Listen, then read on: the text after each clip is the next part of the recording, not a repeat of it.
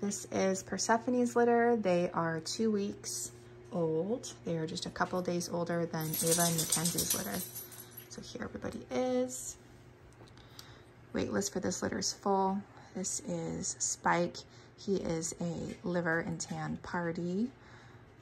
Sorry, liver and tan Merle party. He has one eye open, the other one's working on opening. Same thing with this girl. She is a liver and tan Merle party. Definitely has blue eyes.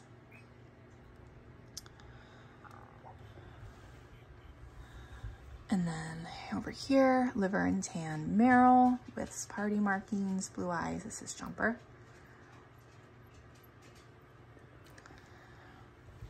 And then little guy here, he's gonna be the smallest. I think he's gonna be maybe six pounds full grown, if that. He's so cute. Little foot, liver party. And he's a blanket party, so he has really nice, lots of liver pigment in his coat. And then last but not least, little Miss Ducky. She is a liver girl with some white on her chest and her toes. All right, so this is the litter.